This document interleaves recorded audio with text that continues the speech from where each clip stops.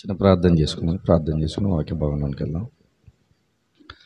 పరిశుద్ధుడ ప్రేమ నమ్మకం కలిగిన మా ప్రియ పరలోకపు తండ్రి ఉదయకాల సమయం మందు ప్రభా నీ మందిరంలో నీ బిడ్డలుగా విశ్వాసులుగా నీ సన్నిధానంలో ప్రభా చేరి వచ్చి ప్రభా నిన్ను స్థుతించడానికి ఆరాధించడానికి ఇచ్చిన గొప్ప ధన్యతను బట్టి నీ కొందనాలు తెలియపరుస్తున్నాం. ఇప్పటివరకు మరి పాటల ద్వారా స్తుతి ఆరాధన ద్వారా ప్రభా నీ నామాన్ని మహింపరిచే భాగ్యాన్ని ఇచ్చారు. నాయన ప్రభా ఎదుగు తండ్రి ప్రాముఖ్యమైన భాగాల్లోనికి మేము వెలుచుండగా మాతో మాట్లాడండి తండ్రి. మా జీవితాల్లో ప్రభా అనేక సమస్యలు ఉన్నాయి మా జీవితాల్లో అనేక ఇబ్బందులు ఉన్నాయి మా జీవితాల్లో ప్రభు అనేకమైనవి నీకు ఇష్టకరము కానివి ఉంటూ ఉన్నాయి ప్రభా. అలాంటి పరిస్థితుల్లో తండ్రి మీరు మాతో మాట్లాడండి. ఈ రోజుల్లో ప్రభా నీ వాక్కు వినటం అనేది ప్రభా చాలా పెద్ద సమస్యగా కనిపిస్తున్న ఈ దినాల్లో ప్రభా స్వచ్ఛమైన వాక్యాన్ని తండ్రి ప్రభా వాక్యంలో ఉన్నది ఉన్నట్టుగా చెప్పేటువంటి సావుకుల మధ్య ప్రభా నివసించే ధన్యతను కూడా మాకు దయచేయండి. అటువంటి మాటల చేత మా జీవితాలు మీరు కట్టమని ప్రార్థిస్తున్నాను. ప్రభా అనేక సంగతులు మేము వింటున్నాము తండ్రి. అనేక సంగతులు మేము నేర్చుకుంటున్నాము కానీ ప్రభా దాన్ని మా జీవితంలో మేము పాటించలేక ప్రభా అనేకమైన ప్రతిఫలాలను మేము కోల్పోతున్నాం ప్రభా. మరి అలాంటి తరుణాలలో మరొక అవకాశం మీరు ఇచ్చి తండ్రి మీరు మాతో మాట్లాడుతున్నారు. నీ మాటలు శ్రద్ధగా విని ప్రభా నీ మాటల్లో ఉన్న ఆంతర్యాన్ని గ్రహించినైనా మా జీవితాలు ప్రభా కట్టుకునే ధన్యతను కూడా మాకు అనుగ్రహించమని కోరుతూ ఈ పరిచయం నడిపిస్తున్న తమ్ముడిని నాయనా ప్రభా సంఘంలో ఉంటున్న ప్రతి ఒక్క బిడ్డను మీరు జ్ఞాపకం చేసుకోండి. ఈరోజు ఎవరితో మీరు మాట్లాడాలనుకుంటున్నారో వారి హృదయాలతో నేరుగా సూటిగా స్పష్టంగా మాట్లాడుతండి వారి జీవితాలను బలపరచమని ప్రార్థిస్తూ ప్రాధేయపడుతూ ప్రభువును ప్రేరక్షకుడని యేసుక్రీస్తు నామ పేరిట ప్రార్థన అడుగుతున్నాను పరమ తండ్రి. ఆమెన్. అవకాశం ఇచ్చిన తమ్మునికి చేరొచ్చిన మీ అందరికీ ప్రభు అయిన యేసుక్రీస్తు నా హృదయపూర్వకమైన వందనాలు తెలియపరుస్తున్నాను. గత ఆదివారం అంటే ఆ ముందు ఆదివారం మనం మాట్లాడుకున్నట్టుగా పేతురు గురించినటువంటి అనేక సంగతులను మనం ఆ రోజు ధ్యానించాం. పేతురు భక్తి జీవితంలో ఎలా ఉన్నాడో పేతురు ఆ తర్వాత యేసుక్రీ క్రీస్తు ప్రభుల వారి దగ్గరికి వచ్చిన తర్వాత ఎలా ఉన్నాడో ఆయన ఎటువంటి మాదిరి ఉంచి వెళ్ళిపోయాడు అన్న అనేక సంగతులను మనం ధ్యానించాం. ఆ రోజు ఒక మాట అన్నాను మీకు జ్ఞాపకం ఉందో లేదో. బైబిల్లో దేవుడు భక్తుల జీవితాలను రాయించాడు అని అంటే దాని అర్థం ఏంటంటే ఆ భక్తి జీవితాన్ని మనము సాధన చేయాలి. పేతురు వలె మనం బ్రతకగలగాలి. పౌలు వలె మనము బ్రతకగలగాలి. ఒక మాటలో చెప్పాలనంటే వాళ్ళు మనకు మోడల్స్ అంటే వారిని చూసి మనం బ్రతకటం నేర్చుకోవాలి. లోకంలో ఎవరెవరినో ఏవేవో చూసి మనం నేర్చుకుంటాం. లోకంలో ఉన్న పరిస్థితులను బట్టి ఎవరెవరో ఎలానో బ్రతికితే వారి వల్లే మనం బ్రతకాలనుకుంటాం కానీ భక్తుల జీవితాలను చూసి మనం నేర్చుకునే ప్రయత్నాన్ని చెయ్యము. ఇప్పుడు ప్రతి ఆదివారం కూడా దాదాపు గంటన్నర పాటు వాక్యాన్ని మీకు అందించడం వెనుకున్న ముఖ్యమైన ఉద్దేశం ఏంటంటే వాక్యం మీరు భక్తుల జీవితాలను వాక్యం మీరు బైబిల్లో ఉన్న సంగతులు నేర్చుకున్న తర్వాత దాని ప్రకారంగా మీరు ఏం చేయాలి? బ్రతకాలి. మీరు గంటన్నర కాదు కదా రెండు గంటల పాటు చెప్పినా దాని ప్రకారంగా మీరు బ్రతకలేకపోతే దానివల్ల వచ్చే ఉపయోగము ఉండదు. ఎంతసేపు వింటున్నామన్నది కాదు కానీ ఎంత వాక్యానుసారంగా బ్రతుకుతున్నామన్నదే ప్రాముఖ్యం. నువ్వు గంటన్నర విను రెండు గంటలు విను అరగంట విను కానీ నువ్వు దాని ప్రకారంగా బ్రతకలేకపోతే నువ్వు పెట్టినటువంటి ఆ సమయము నువ్వు పెట్టినటువంటి ఆ కష్టము ఆ శ్రమంతో కూడా ఏమైపోద్దంటే వృధా అయిపోద్ది. దేవుడు ఎన్నో సంగతులను అరవై ఆరు పుస్తకాలలో ఎన్నో ఆధ్యాత్మిక సంగతులు కొన్ని మనకు అర్థమవుతాయి కొన్ని అసలు మనకు అర్థం కావు కొన్ని మనకు అందుబాటులో ఉన్నాయి కొన్ని మనకు అందుబాటులో ఎన్నో విషయాలను దేవుడు మన ముందర ఎందుకు ఒక గ్రంథంగా పెట్టాడనంటే మన జీవితానికి ఆయన ఇచ్చినటువంటి ప్రాధాన్యత అంత గొప్పది. ఒక విషయం చెప్పాలంటే ఇక్కడ ఉన్న వారిలో చాలామంది మన సగ జీవితం అయిపోయింది. అంటే ముప్పై సంవత్సరాలు గడిపేసిన వాళ్ళు చాలామంది ఉన్నాం.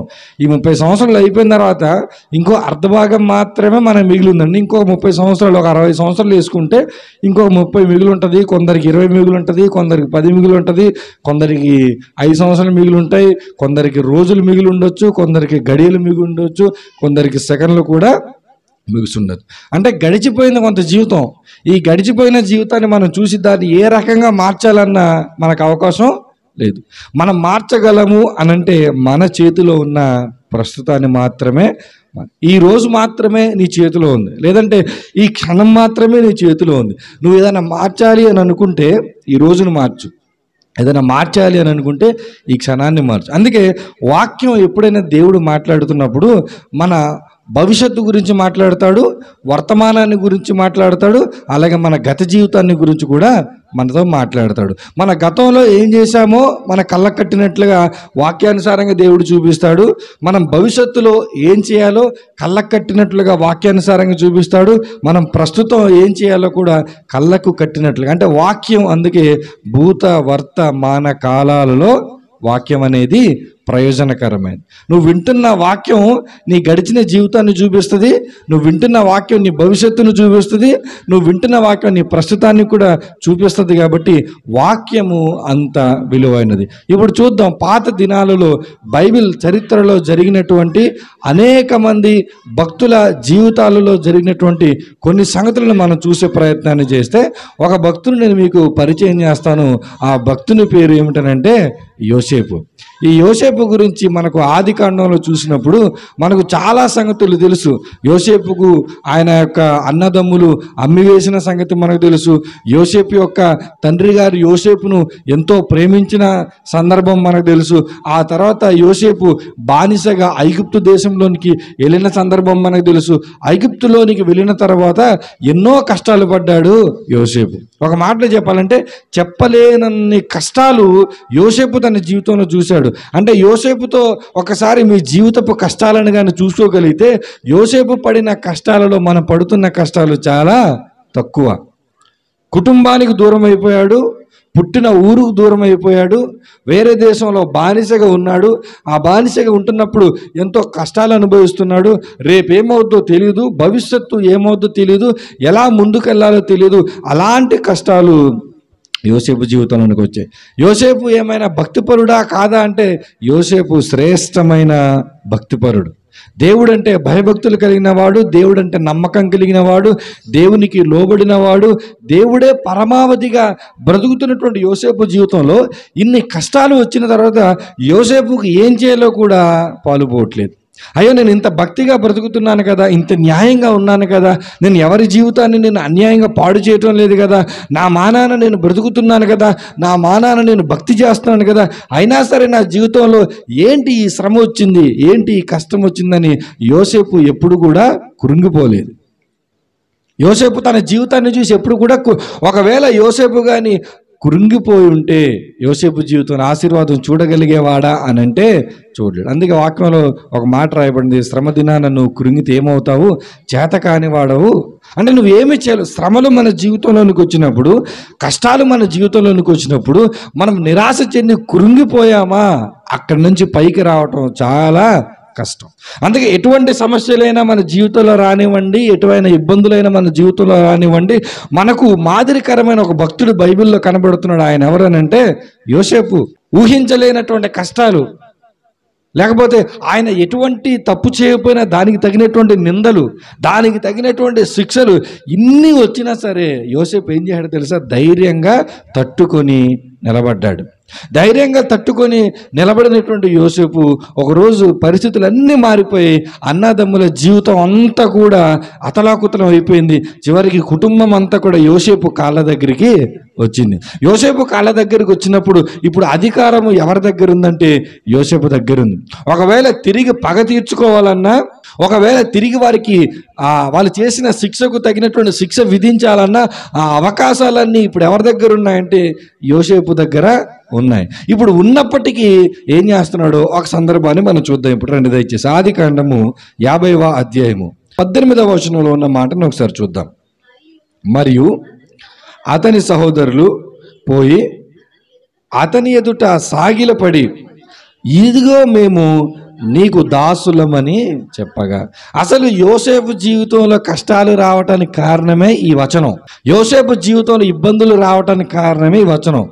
యోసేపుకు కళలు వచ్చాయి. ఆ కళలో అన్నదమ్ములందరూ కూడా ఎవరికి సాగిలపడినట్టుగా? యోసేపుకు సాగిలపడినట్టు ఈయన కళ వచ్చింది. ఈ కళ చెప్పగానే వాళ్ళు అసూయతో పగతో ఏం చేశారు? తీసుకుని అమ్మేశారు. అంటే ఆ మాటకు అతని జీవితం ఏమైపోయింది? మొత్తం రివర్స్ అయిపోయింది.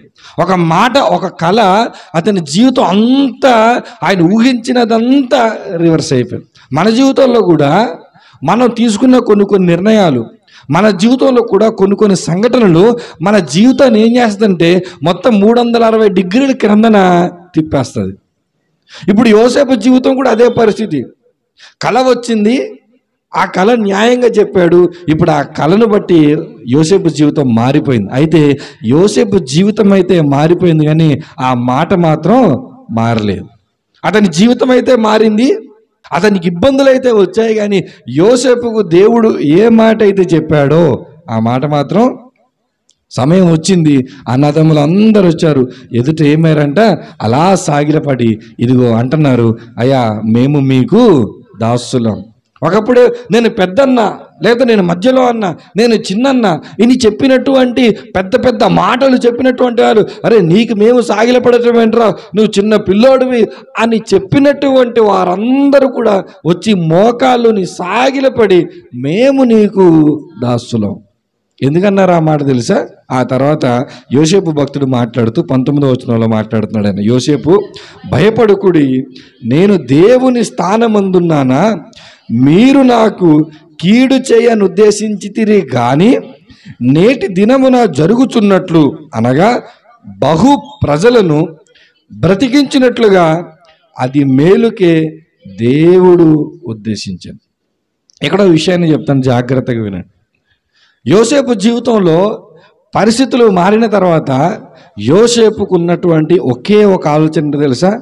ఇదంతా దేవుని చిత్తం. ఇదంతా దేవుని ఉద్దేశం. ఇదిగో నన్ను నా తండ్రి నుంచి దూరం చేసిన నా ప్రాంతం నుంచి దూరం చేసిన నా అన్నదమ్ములను నమ్మివేసిన నా యజమానుడు నన్ను ఇబ్బంది పెట్టినా నన్ను జైల్లో తీసుకుని వెళ్ళినా నన్ను బయటికి తీసుకొచ్చినా నన్ను ఉన్నత స్థానంలో ఉంచిన నా జీవితంలో ఏ పరిస్థితులు జరిగినా అదొకటి గుర్తుపెట్టుకోండి. అది ఎవరి ఉద్దేశం అంట అది కేవలము దేవుని ఉద్దేశం. అంటే నేను శ్రమలు పడటమైనా నేను ఆశీర్వాదం పొందటమైనా నేను ఇబ్బందుల్లో ఉండటమైనా ఆ సమస్యల నుంచి బయటికి రావటం అన్నా ఇది ఎవరి కార్యము అని యోసేపు నమ్మాడనంటే ఇది దేవుని కార్యం. చాలాసార్లు మనకు కష్టాలు వచ్చినప్పుడు మన దేవుని దగ్గరికి వచ్చి బాధపడుతుంటాం కానీ ఆ బాధపడే ముందు ఒక మాట దేవుని చెప్పాలి దేవా బహుశా ఇది నీ చిత్తమైతే ఈ సమస్యల నుంచి నీవే నన్ను నడిపించు. ఇది నీ యొక్క ఉద్దేశం అయితే నీవే నడిపించమని చెప్పి మనం చెప్పటాన్ని ఎవరు నేర్పిస్తున్నాడంటే యోసేపు నేర్పిస్తున్నాడు. జాగ్రత్త చూడండి యోసేపు తన జీవితంలో ఉన్న కష్టాలలో ఎప్పుడు కూడా ఒక మనిషిగా ఆలోచించలేదు. ఆ పాఠాన్ని మనం నేర్చుకోలేదు ఒక మనిషిగా ఆయన ఒక మనిషిగా ఆలోచించుంటే అన్నదమ్ములు తలకాయలన్నీ వరస పెట్టి తీసేయాలి. ఒక మనిషిగా ఆలోచించుంటే వాళ్ళ కుటుంబాలంతటిని కూడా నాశనం చేశారు. ఒక మనిషిగా ఆలోచించుంటే ఇక నుంచి నా ఇంట్లో పనోళ్ళ ఉండనురా అని చెప్పి అన్నదమ్ములు ఏం చేయాలి? పనోళ్ళుగా మార్చాలి. మానవీయ కోణంలో మనుషులు ఆలోచించే కోణంలో యోసేపు ఇక్కడ ఆలోచించకుండా దైవిక కోణంలోనే ఆలోచించడం మొదలెట్టాడు. అసలు మీరు నన్ను ఎందుకు అమ్మారు? నన్ను ఎందుకు ద్వేషించారు? నన్ను ఎందుకు ఈ జైల్లో పెట్టారు? నాకెందుకు ఇలాంటి ఆకర్షణలు కూడినటువంటి అవకాశాలు వచ్చాయి? నాకెందుకు ఇన్ని ఇబ్బందులు వచ్చాయి? నాకెందుకు ఉన్నత స్థానం వచ్చిందంటే? అక్కడ ఎక్కడ కూడా మనుషుల కోణము ఆలోచించేటది కేవలం దేవుని కోణమే ఆలోచిస్తున్నాడు. ఈ సందర్భాల నుంచి ఒక మాట నేను మీకు చెప్తాను. మనం బాగా డబ్బు సంపాదించే అవకాశం వచ్చినప్పుడు బాగా డబ్బు సంపాదించే అవకాశం వచ్చినప్పుడు మనం ఏం చేస్తామంటే ఆ మంచి అవకాశం వచ్చిందని మనం ఏం చేస్తామంటే దేవుణ్ణి బాగా స్తుతిస్తాం ఒకవేళ డబ్బు సంపాదించలేని స్థితిలో దిగిపోయామనుకోండి మరలా మనం వచ్చి దేవుని దగ్గర దేవా డబ్బు సంపాదించలేని స్థితిలో నన్ను నెట్టేశామని చెప్పి స్థుతించగలమా? అవకాశం ఉంది బాగా సంపాదించే అవకాశం ఉంటే దేవుని స్థుతిస్తావు. అదే అవకాశాలు కోల్పోయాయి అనుకుంటే అదే మనసుతో వచ్చి ప్రభా నాకున్న అవకాశాలన్నిటిని నాశనం చేసావు. దేవానికి స్తోత్రం అని మనం స్థుతించగలమా స్థుతించలే ఎందుకు స్థుతించలేమో తెలుసా? మనం ఎప్పుడు కూడా మనుషుల కోణాలలో నుంచే ఆలోచిస్తాం. కానీ దైవిక కోణాలలోనికి వెళ్ళి మనము ఆలోచి మంచి జరిగితే దేవుడు చెడు జరిగితే ఇదిగో అది జరిగిపోయింది ఏదో అలా జరిగిపోయింది అనుకుంటాం కానీ ఇక్కడ గుర్తుపెట్టుకోండి మనుషుల కోణం కాదు మన దేవుని కోణంలో ఒక మంచి మనకు జరిగిన దేవుని కోణంలోనే ఆలోచించాలి ఒక చెడు జరిగిన ఎవరి కోణంలో ఆలోచించాలి తెలుసా? దేవుని కోణంలో అసలు ఈ చెడు నా జీవితంలోనికి ఎందుకు వచ్చింది? ఈ కష్టం నా జీవితంలోనికి ఎందుకు వచ్చింది? నువ్వు అక్కడ ఆలోచించలేవు అనుకో. ఆ పరిస్థితుల నుంచి బయటికి నువ్వు రానుగాక రాలేవు. గుర్తుపెట్టుకోండి యోసేపు ఒక బానిసగా ఉండి యోసేపు ఒక జైల్లో ఉండి ఆ స్థితిలో నుంచి బయటకు వచ్చే ప్రధానమంత్రి అయ్యాడంటే యోసేపు మైండ్ సెట్ మార్చుకున్నాడు. ఆ ఏ పరిస్థితులు కూడా మనుషులు ఆలోచించేటట్లుగా ఆలోచించట్లేదు. నాకు ఇది వచ్చింది అని అంటే కారణం అన్నదమ్ములు మీరు కాదురా బాబు. అర్థమైంది మీకు పాయింట్ అన్నదమ్ములు మీరు కాదు కారణం. నాకు ఈ సందర్భం వచ్చిందంటే దీని వెనక దేవుడు ఉన్నాడు. ఒకరోజు ఇదే మాట ఎవరు చెప్తున్నారు తెలుసా? సొలోమోను భక్తుడు చెప్తున్నాడు. ఒకసారి చూడండి ప్రసంగి గ్రంథము రెండవ అధ్యాయము మొదటి వచనంలో ఉన్న మాట చూడండి. కానీ నిన్ను సంతోషము చేత శోధించి చూతును. రాయబడిన మాట ఏంటి తెలుసా? నేను దేవుడు నన్ను ఇప్పుడు ఎలా టెస్ట్ చేస్తున్నాడంటే నాకు సంతోషాన్ని ఇచ్చాడు. సంతోషం ఎలా ఉంది నా జీవితంలో అని అధ్యాయం మధ్య రాసుకుంటూ వచ్చాడు సొలోమోన్. నా జీవితంలో సంతోషం ఎలా ఉంది అంటే ఇదిగో ఇన్ని రకాలుగా ఉంది. ఇంత కాకపోతే ఈ సంతోషంలో ఉన్నది ఏంటో తెలుసా? శోధన. ఈ సంతోషంలో ఉన్నది ఏంటో తెలుసా? టెస్టింగ్ ఉంది. దేవుడు మనల్ని సంతోషపరిచి కూడా పరీక్షిస్తాడు. ఎవరికి లేని భోగభాగ్యాలు ఇచ్చి కూడా పరీక్షిస్తాడు. దేవుడు మనకు కష్టాలను ఇచ్చి కూడా పరీక్షిస్తాడు. దేవుడు మనకి ఇబ్బందులను ఇచ్చి కూడా పరీక్షిస్తాడు. ఈ సందర్భంలో నీవైనా నేనైనా ఎలా ఆలోచించాలంటే మనుషుల కోణంలో నుంచి ఆలోచించకూడదు దైవిక కోణంలో నుంచి ఆలోచించాలి. నా కుటుంబంలో ఈ చెడు ఎందుకు వచ్చింది? దైవిక కోణంలో ఆలోచించు. నా కుటుంబంలో ఈ మంచి ఎందుకు వచ్చింది? దైవిక కోణంలో ఆలోచించు. ఈ కోణాలలో ఆలోచిస్తే జరిగేటువంటి ఒక సందర్భం ఏంటో తెలుసా? దేవుని ఉద్దేశాలు నీకు అర్థమవుతాయి. ఇప్పుడు స్పష్టంగా అర్థం చేసుకున్నాడు. ఇన్ని ఇబ్బందులు నేను అందగాడిని అని చెప్పి ఆ యొక్క భార్య నా దగ్గరకు రాలేదు. నేను అందగాడిని అని చెప్పి పోతిపరి భార్య నా దగ్గరికి రాలేదు. ఈమె నన్ను వచ్చి ఆకర్షించే ప్రయత్నం చేస్తుందంటే వెనకాల ఏదో ఉందని చెప్పి దేవుడు కోణాలు ఆలోచించాడు. అదే నేను అందగాడిని కాబట్టి నా దగ్గరికి వచ్చింది పోతిపరి భార్య అనుకుంటే ఆ రోజే జీవితం అయిపోను అక్కడ. ఈ అవకాశం వచ్చింది. అయ్యబాబో ఈ ఐగుప్తు దేశంలో నా వంటి మగాడు లేడా? లేకపోతే నా వంటి అందగాడు లేడా? ఎక్కడో నుంచి వచ్చిన నా మీద కన్నేసిందంటే ఈయన భార్య ఈయన భర్త మంచోడు కాదా? ఇన్ని కోణాలలో కానీ ఆలోచించుంటే యోసేపు జీవితం అక్కడే మటుమాయమైపోయింది కానీ అక్కడ ఏం చేశాడంటే దేవుని ఈమె వచ్చింది అని అంటే ఏదో కారణం ఉంది. ఈమె వచ్చి నన్ను పరీక్షిస్తుంది అని అంటే దేవుడు నన్ను పరీక్షిస్తున్నాడు అన్న విషయం తెలుసుకున్నాడు. పారిపోయాడు. ఏ స్థితిలో ఉన్నాడు తెలుసా? ప్రధానమంత్రి స్థితిలో ఉన్నాడు. ఈ భక్తుని జీవితంలో నుంచి మీరు నేర్చుకోవాల్సిన ఒక ఒక్క కోణం ఏంటంటే మీ జీవితంలో ఏ పరిస్థితి రాడు ఎందుకు వచ్చింది అని దేవుని కోణంలో ఆలోచించడం నేర్చుకోండి. దేవుని కోణంలో ఆలోచించడం నేర్చుకుంటే దేవుని ఉద్దేశాలు ఏంటో ఈ యోసేపు భక్తుని ద్వారా మనకు అర్థమవుతుంది. మరొక భక్తుడిని నేను చూపిస్తాను. మత్తయ్య గారు రాసిన సువార్త. మత్తయ్య గారు రాసిన సువార్త ఒకటవ అధ్యాయం పంతొమ్మిది ఇరవై నాలుగో వచనాల్లో ఉన్న మరొక యోసేపు నేను మీకు చూపిస్తాను. ఒకసారి చూడండి. ఆమె భర్త అయిన యోసేపు నీతిమంతుడై ఉండి ఆమెను అవమానపరచనొల్లక రహస్యముగా ఆమెను విడనాడ ఉద్దేశించెను. అతడు ఈ సంగతులను గురించి ఆలోచించుకొనుచుండగా ఇదిగో ప్రభుదూత స్వప్నమందు అతనికి ప్రత్యక్షమై దావీదు కుమారుడవైన యోసేపు నీ భార్య అయిన మరియను చేర్చుకొనుటకు భయపడకుము. ఆమె గర్భము ధరించినది పరిశుద్ధాత్మ వలన కలిగినది. ఇప్పుడు యోసేపు ఇక్కడ ఒక యోసేపు మనకు కనబడతా ఉన్నాడు. ఈ యోసేపు జీవితంలో వచ్చినటువంటి ఒక పరిస్థితి ఎలా ఉందంటే ముందుకెళ్ళాలో తెలియటం లేదు వెనక్కెళ్ళాలో నిర్ణయం తీసుకోలేకపోతున్నాడు. ఇప్పుడు ఆ యోసేపు అయితే తక్కువ నిర్ణయం తీసుకున్నాడు. దీని వెనక ఏదో నష్టం నాకు ఉంది కాబట్టి ఈ పరిస్థితుల నుంచి బయటికి వెళ్ళిపోవాలని చెప్పి వెళ్ళిపోయాడు. ఇదిగో దేవుడు ఏ మాట అయితే ఇచ్చాడో ఆ మాట ప్రతిఫలంగా అన్నదమ్ములు వచ్చి సాగిల పడ్డారు. ఆ యోసేపుకి బాగానే ఉంది. విషయం అర్థం ఈ యోసేపు పరిస్థితి ఏంటో తెలుసా? ఎటెళ్ళాలో తెలియట్లేదు. విడిచిపెట్టాలా? నాతో పాటు ఆమెను ఉంచాలా? ఒకవేళ నాతో ఉంచుకుంటే సమాజంలో నా పరిస్థితి ఏంటి? ఒకవేళ విడిచిపెడితే సమాజంలో నా పరిస్థితి ఏంటి? ఇన్ని ఆలోచనల మధ్య ఈ యోసేపు సతమతం అయిపోతున్నప్పుడు ఈ యోసేపు దగ్గరకు ఏమొచ్చింది తెలుసా? వాక్యము వచ్చింది. నీ జీవితంలో కూడా చాలా సందర్భాల్లో ఎటువంటి నిర్ణయాలు తీసుకోవాలో అర్థం కానటువంటి ఆందోళనకరమైన స్థితిలో నీకు నువ్వు వెళ్ళిపోతే దేవుడు మాత్రమే నీకు సమాధానం ఇస్తాడు.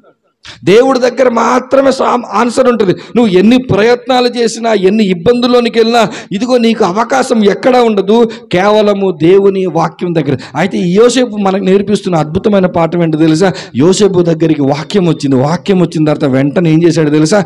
మనుషులు ఎవరు నన్ను ఏమనుకున్నా పర్వాలేదు. నేను మాత్రం ఈ మాటను ఏం చేస్తాను? పాటిస్తాను. ఒకవేళ బహుశా ఇదిగో మరియమ్మను ఈ రోజు మనం ఇన్ని మాటలు అంటుంది సమాజం అంటే ఆ రోజుల్లో ఎన్ని మాటలు ఉంటాయి ఒకసారి ఊహించండి. ఆ రోజుల్లో ఎన్ని సంఘటనలు వారిని బాధపరుచుంటాయి ఊహించండి. కానీ మనుషులు మీరు వంద అనుకోండి అయ్యా కానీ నా దగ్గరికి వచ్చింది ఏంటో తెలుసా? వాక్యం. ఇప్పుడు నా నేను చేయాల్సినటువంటి తక్షణ పని ఏంటో తెలుసా? ఆ వాక్యానికి రెస్పాండ్ అయ్యి ఆ వాక్యాన్ని అంగీకరించటం. ఆ యోసేపు నేర్పుతున్న పాఠం ఒక విధంగా ఉంటే ఈ యోసేపు నేర్పుతున్న పాఠం మరొక స్థాయిలో ఉంది. ఆ యోసేపు ఆలోచించే పాఠం నేర్పిస్తే ఈ యోసేపు ఏం చేస్తున్నాడో తెలుసా? ఆలోచించి నిర్ణయం తీసుకున్న తర్వాత మనుషులు ఎవరు ఏమంటున్నా మనకు అనవసరం. ప్రసంగి గ్రంథం పన్నెండవ అధ్యాయంలో సొలోమోను భక్తుడు పుస్తకాన్ని ముగిస్తూ రాసినటువంటి మాట పన్నెండు పదమూడు చూడండి ప్రసంగి పన్నెండు ఇదంతయు విన్న తర్వాత తేలిన ఫలితార్థం ఇదే దేవుని యందు భయభక్తులు కలిగి ఉండి ఆయన కట్టడలను అనుసరించి నడుచుచుండవలెను మానవ కోటికి ఇదియే విధి.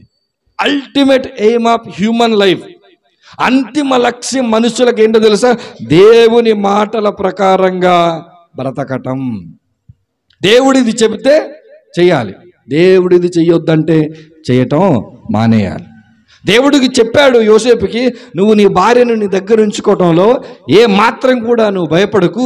ఈ కార్యం జరిగింది పరిశుద్ధాత్మ వల్ల అంటే యోసేపుకు ప్రశ్నలే రాదు. పరిశుద్ధాత్మ ఎక్కడున్నాడు? ఎలా వస్తాడు? ఇది ఎక్కడ సాధ్యం? గతంలో జరగలేదు మా ఇంట్లో జరగలేదు పక్కింట్లో వాళ్ళు జరగలేదు మా వంశంలో ఎన్ని మాట్లాడలేదు దేవుడు చెప్పాడు ఆయన విన్నాడు.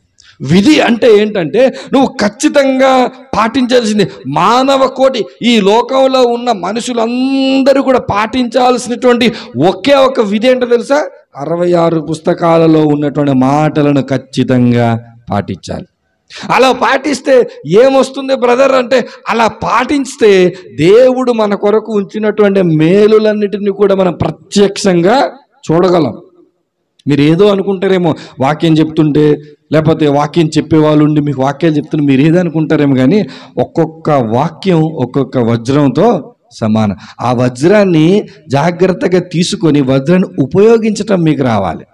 ఉపయోగించడం రాకపోతే లోపలే ఉంటుంది. అది ఆ వజ్రాన్ని మీరు తీసుకొని ఆ వజ్రంతో కలిగే లాభాలను మీరు అర్థం చేసుకొని వజ్రాన్ని ఉపయోగించాలి. వాక్యం వినటం గొప్ప కాదు. విన్న వాక్యానుసారంగా మీరేం చేయాలి? ప్రతిస్పందిస్తే దాన్ని పాటిస్తే దేవుడు ఎన్ని మేలులు చేస్తాడో మీకు తెలియదు. నా వ్యక్తిగత జీవితంలోనే దేవుడు ఎన్నెన్ని మేలులు చేశాడని ఒక్కసారి వెనక్కి వెళ్ళి నేను ఆలోచించుకుంటూ వెళ్తే ఏది కూడా దేవుని దగ్గర నేను ఎప్పుడు నోరు తెరిచి కూడా ప్రభ నాకు ఇది కావాలి ప్రభా నువ్వు ఇస్తావా చేస్తావా నేను ఎప్పుడు అడగల. నా మానాన నేను దేవుడు నాకు ఇచ్చిన పరిస్థితులకు అనుగుణంగా వెళ్ళిపోతా ఉంటే దేవుడు ఒక్కొక్కటి ఎలా సెట్ చేసుకుంటూ వచ్చి దేవుడు ఏ స్థాయిలో నాకు ఏది అవసరమో దాన్ని ఎలా ఆయన సెట్ చేస్తాడంటే అంతా అయిపోయాక నాకు అర్థమవుతాయి బాబు ఇక్కడ దేవుడు ఈ మేలును చేశాడు. నేను అందుకే వాక్యానికి మీరు రెస్పాండ్ అయ్యి వాక్యాన్ని మీరు పాటిస్తే దానివల్ల జరిగేది ఏంటో తెలుసా? ఇదిగో దానివల్ల వచ్చే ఫలితం ఏంటో తెలుసా? ఇదిగో నువ్వు దేవుని వాక్యానుసారంగా జీవించడం మూలాన యోసేపు జీవితంలో ఏదైతే మేలును యోసేపు చూశాడో నీ జీవితంలో నా జీవితంలో కూడా మన మేలును చూడగలుగుతాం. కాబట్టి మొదటి యోసేపు మనకు నేర్పినటువంటి పాఠం ఏంటంటే ఎలాంటి పరిస్థితులైనా దేవుని కోణంలో మీరు ఆలోచించాలి. రెండవ యోసేపు నేర్పించినటువంటి పాఠం ఏంటంటే ఇదిగో ఒక్కసారి నిర్ణయం తీసుకున్న తర్వాత మనుషులు ఎవరేమనుకున్నా పర్వాలేదు పరిస్థితులు ఎలా ఉన్నా పర్వాలేదు మనం దేవుని కొరకు నిలబడాలి. దేవుని కొరకు నిలబడాల్సిన పరిస్థితులు వచ్చినప్పుడు అంత సామాన్యంగా ఉండవు అని అనేక ఇబ్బందులు గుండా వెళ్తాం. అయినా సరే దేవుడు చెప్పాడు కాబట్టి అది విధి కాబట్టి మనం ఏం చేయాలి? పాటించి తీరాలి. మూడవ యోసేపు గురించి నేను చూపించి ముగించేస్తాను మూడవ యోసేపు లూకస్ వార్త ఇరవై మూడవ అధ్యాయము యాభై వచనంలో మనకు ఒక యోసేపు కనబడతా ఉంటాడు. ఆ వ్యక్తిని కూడా మనం చూద్దాం ఒకసారి.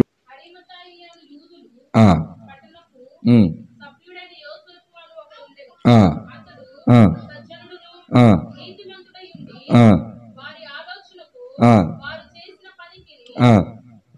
సమ్మతింపక దేవుని రాజ్యము కొరకు కనిపెట్టుచుండినాడు ఇక్కడ ఒక యోసేపు కనబడుతా ఉన్నాడు. ఈ యోసేపు ఎప్పుడు వచ్చాడు అని అంటే యేసుక్రీస్తు ప్రభుల వారు చనిపోయిన తర్వాత ఆయన దేహాన్ని తీసుకుని వెళ్ళటానికి పిలాత దగ్గరికి వచ్చినటువంటి యోసేపు. ఈయన అంటా ఉన్నాడు ఈయన గురించి అతను ఎటువంటి వాడు అనంటే సజ్జనుడు నీతిమంతుడై ఉండి వారి ఆలోచనకును వారు చేసిన పనికిని సమ్మతించడు. అంటే ఈయన ఒక యూదుల పట్టణపు సభ్యుడైన అంటే ఒక చెప్పాలి ఒక కౌన్సిల్ మెంబర్ ఈయన. ఈయన ఒక కౌన్సిల్ మెంబర్ ఒక యూదున పట్టణపు అధికారి అయినా కానీ అధికారులు చేసిన ఆలోచనకు వారితోనే ఉండి ఈయన సమ్మతించాడు. మీకు అర్థమైందా విషయం? ఉదాహరణకి ఈ సంఘంలో సభ్యులు మీరు. ఈ సంఘంలో సభ్యులందరూ కలిసి ఒక పని చేయాలనుకుంటున్నారు.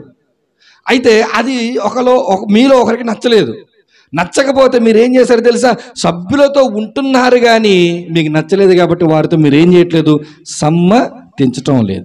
ఈ యోసేపు మనకు నేర్పి అద్భుతమైన పాఠం ఏంటో తెలుసా? లోకంలో అందరితో మనం ఏం చేయాలి? కలిసే బతకాలి. మనం వాళ్ళకి వేరుగా బతుకుదామంటే కుదరదు. వారి అందరితో కలిసి బతకాలి అయితే లోకములో ఉన్న వారందరూ చేసే పనులు ఎలా ఉంటాయంటే దేవునికి వ్యతిరేకంగా కొన్ని పనులు చేసేవారు ఉంటారు. ఇక్కడ ఏం జరుగుతుందంటే యూదుల పట్టణపు సభ్యులందరూ కలిసి యేసుక్రీస్తు ప్రభుల వారికి వ్యతిరేకంగా పనిచేస్తూ ఉన్నారు. ఈయన కూడా వాళ్ళతో మెంబరే సభ్యుడే కానీ ఈయన ఏం చేశాడో తెలుసా? యాక్సెప్ట్ చేయట్లేదు అంగీకరించడం లేదు సమ్మతించడం లేదు. అంటే ఈయన నేర్పే పాఠం ఏంటంటే ఈ లోకంలో మనం ఉన్నప్పుడు దేవునికి వ్యతిరేకంగా చేసే పనులు చేసే వారందరితో మనం ఉంటున్నా సరే మనం ఏం చేయకూడదు తెలుసా? సమ్మతించకూడదు. ఆ మాట మీరు బలంగా మనసులో పెట్టుకోండి. మనం లోకస్తులతో కలిసి ప్రయాణం చేయొచ్చు కానీ లోకస్తులతో కలిసి చేసే ప్రయాణం అన్నిటికీ మనం వారితో పాటు సమ్మతించలేం. అన్నిటికీ వారితో పాటు మనం కూడా వెళ్ళలేం. వారు ఎవరు అని అంటే దేవునికి వ్యతిరేకంగా వెళ్ళే సమూహంతో మనం ఎలా కలిసి వెళ్ళగలం? దేవునికి వ్యతిరేకించే వారితో మనం ఎలా ఉండగలం? ఇప్పుడు మన జీవితాల్లో మనం ఏం చేయాలంటే దేవునికి అనుకూలమైన పని ఒకటి ఉంది. ఆ దేవునికి అనుకూలమైన పని ఏంటో తెలుసా? ఈయన చేస్తున్నాడు. దేవుని రాజ్యం కొరకు కనిపెడుతున్నాడు. ఈ యోసేపు మనకి ఏం నేర్పిస్తుందంటే మీరు లోకంలో మీరు ఏదో ఏదో ఏదో ఏదో అనుకుంటున్నారు మీరు. లోకంలో ఏదో అధికారాలు గొప్పతనాలు లేకపోతే లోకంలో మంచి పేర్లు ఏవో ఆశిస్తున్నా ఇవన్నీ కాదరా బాబు. ఆధ్యాత్మిక స్థాయి ఒకటి చూపిస్తాను నేను స్పిరిచువల్ స్టాండర్డ్ ఒకటి చూపిస్తాను. అదేంటో తెలుసా? ఈ లోకంలో ఉన్నా సరే ఇది శాశ్వతము కాదని దేవుని రాజ్యం కొరకు మనం ఏం చేయాలి? దేవుని రాజ్యమే నాకు అంతిమ లక్ష్యం. దేవుని రాజ్యంలోనికి నేను వెళ్ళాలని దేవుని రాజ్యం కొరకు ఎదురు చూసేటువంటి యోసేపు వలె మనం ఉండాలి. అందుకే మత్తైసు వార్త దేవుడు ఏం చెప్తాడు? కాబట్టి ఏమి తిందుమో ఏమి త్రాగుదుమో వాటి గురించి కానీ మీరు ఆలోచించాలి. మీరు ఆలోచించవలసిన మొట్టమొదటి దేని గురించి? ఆయన నీతిని ఆయన రాజ్యాన్ని వెతకండి. అప్పుడు మీకు అన్నీ అనుగ్రహించబడతాయి. మరలా నేను చెప్తున్నాను మీరు దేవుని పనిలో ఉండాలి. మీరు దేవుని పని చేయాలి సువార్త పనిలో ఉండాలి దేవుని కొరకు పనిలో నలిగిపోవాలి ఆ పనుల్లో మీరుంటే మీకు ఏది కావాలో దేవుడు మీకు ఇస్తాడు. ఈ యోసేపు నేర్పే పాఠం ఏంటో తెలుసా? నా దగ్గర డబ్బు ఉంది నాకు అధికారం ఉంది కానీ ఇవి నాకు శాంతినివ్వవు. నా దగ్గర డబ్బు ఉంది నాకు అధికారం ఉంది కానీ ఇది నాకు పరలోకం ఇవ్వదు నాకు పరలోకం ఇచ్చేది ప్రభు ఒక్కడే. ఆ ప్రభు వెళ్ళిపోతూ వెళ్ళిపోతూ చెప్పిన పనింటి తెలుసా? నేను వచ్చేంత వరకు ఎదురు చూడు ఈ ఎదురు చూపులో ఖాళీగా కూర్చోకు ఈ ఎదురు చూపులో నా కోసం నువ్వు చాలా మందిని సిద్ధపరచు. నేను వస్తాను వచ్చిన తర్వాత నిన్ను తీసుకెళ్ళిపోతాను అని చెప్పిన మాట బలంగా పెట్టుకున్నాడు యోసేపు. ఆ యోసేపు ఏమో కలగన్నాడు కలను బలంగా పెట్టుకున్నాడు. ఈ రెండవ యోసేపు ఏమో కలను దేవునితో వచ్చి చెప్పి ఒక మాట చెప్పింది. ఆ కళ మాటను గట్టిగా పట్టుకున్నాడు. ఈ యోసేపుకేమో యేసుక్రీస్తు ప్రభుల వారు వచ్చి మాట చెప్పాడు. ఆ మాటను గట్టిగా పట్టుకున్నాడు. ఇప్పుడు ఈ ముగ్గురు జీవితాల్లో మీరు చూడండి. మొదటి యోసేపు ఏది ఆలోచించినా దైవిక కోణంలోనే ఆలోచించాడు. రెండవ యోసేపు ఒక్కసారి ఆలోచించి నిర్ణయం తీసుకున్న తర్వాత మనుషుల గురించి ఆలోచించకుండా ఆ నిర్ణయం కొరకు నిందలు పడ్డానికైనా సిద్ధపడ్డాడు. మూడవ యోసేపు ఏం చేశాడు తెలుసా? తన దగ్గర అన్నీ ఉన్న అందరితో సమ్మతించడం లేదు. ఈ నమ్మకంతో నా ప్రయాణం చేసేటప్పుడు ఇవన్నీ కరెక్ట్ కాదు. నేను దేవుని రాజ్యం కొరకు ఎదురు చూడాలి. అది మాత్రమే కరెక్ట్ అని చెప్పి దేవుని రాజ్యం కొరకు ఆలోచనలు కలిగి జీవిస్తా ఉన్నాడు. ఈ సమయంలో దేవుడు ఈ ముగ్గురు భక్తుల ద్వారా నేర్పుతున్న పాఠాన్ని మీరు జాగ్రత్తగా ఆలోచన చేసి మనస్సును పెట్టుకోగలిగితే ఈ లోకంలో ఈ యోసేపు చెప్పినట్టు మనం అన్నిటినీ సమ్మతించకూడదు అన్నిటికీ అంగీకరించకూడదు. మనం ఏం చేయాలంటే దేవుని పనిలో మనము ఉండాలి. మనము దేవుని పనిలో ప్రయాణము చేయగలిగితే దేవుడు వేటిని సమకూర్పు చేయాలో వాటిని సమకూర్పు చేస్తాడు. మీరు చూడండి మూడు జీవితాలను మీరు చూడండి. దేవుని పనిలో మొదటి యోసేపు ఉన్నాడు. ఎందుకంటే కళ ఇచ్చాడు ఆ కళను దేవుడు నెరవేర్చే పనిలో ఉన్నాడు. ఆ యోసేపు పాత్రగా ఉన్నాడు. ఆ యోసేపుని దేవుడు ఆశీర్వదించాడా లేదా? ఒక ఉన్నత రెండవ యోసేపు దేవుడు యేసుక్రీస్తు ప్రభును ప్రపంచానికి పరిచయం చేయాలనుకుంటున్నాడు. ఒక పాత్ర కావాలి. ఆ పాత్రగా రెండవ యోసేపును వాడుకున్నాడు. ఆ రెండవ యోసేపు కూడా ఇదిగో యేసుక్రీస్తు ప్రభుల వారి గురించి మాట్లాడితే ఆ తండ్రి అయినటువంటి యోసేపు గురించి మాట్లాడకుండా మనం ముగించలేము ఆ స్థానంలో ఉన్నాడు. ఇప్పుడు ఈ మూడవ యోసేపు ఉన్నాడు. యేసుక్రీస్తు ప్రభుల వారు చనిపోతే ఆ దేహాన్ని తీసుకెళ్ళి సమాధిలో పెట్టిన మంచి స్థితిని యోసేపు కలిగి ఉన్నాడు. కారణం ఏంటో తెలుసా? వీరు ముగ్గురు కూడా దేవుని కోణంలో ఆలోచించిన వాళ్ళు ఈ ముగ్గురు కూడా నిర్ణయం తీసుకున్న తర్వాత నిందల కొరకు సిద్ధపడిన వారు ఈ ముగ్గురు కూడా దేవుని పని చేయాలన్న సంకల్పాన్ని కలిగిన వారు. ఆ విధంగా మీరందరూ ఉండాలని మనస్ఫూర్తి కోరుకుంటూ తలలో వంచండి చిన్న ప్రార్థన చేసుకుని ముగించుకుందాం. తండ్రి నాయన నీకు వందనాలు. మాతో మీరు మాట్లాడారు ప్రభా. మా జీవితాలలో ప్రభా ఏదైతే లోపాలుగా ఉన్నాయో ఆలోచన విషయంలోనూ ఆలోచన తీసుకున్న తర్వాత ప్రభా లోకం ఎలా స్పందిస్తుందో అన్న విషయంలోనూ ప్రభా నీ పని విషయంలోనూ మాతో మరోసారి మీరు హెచ్చరించారు మాట్లాడారు. విన్న ఈ మాటలు నీ బిడ్డలు తమ హృదయాల్లో ఉంచుకొని ప్రభ. ఈ భక్తుల జీవితాల్లో నుంచి నేర్చుకుంటున్న అంశాలను ప్రభ దాని ప్రకారం బ్రతికే భాగ్యం దయచింది ఇందులో ఉన్న ప్రతి ఒక్కరు కూడా ప్రభ తమ సమయాన్ని నీ పని కొరకు వినియోగించి దేవా వారి యొక్క నిర్ణయాలు వారి యొక్క ఆలోచనలు ప్రభ దైవిక కోణాల్లో ఉంచుకునే బిడ్డలుగా వారు ఉంచమని ప్రార్థిస్తున్నాం. పరిచయం చేస్తున్న తమ్ముణ్ణి ఆయన సంఘ సభ్యులను మమ్మల్ని అందరినీ జ్ఞాపకం చేసుకుని బలపరచమని ప్రార్థిస్తూ ప్రాధాయపడుతూ. ప్రభు నేసుక్రీస్తు నామ పేట ప్రార్థన అడుగుచున్నాను. పరమ తండ్రి. ఆమెన్.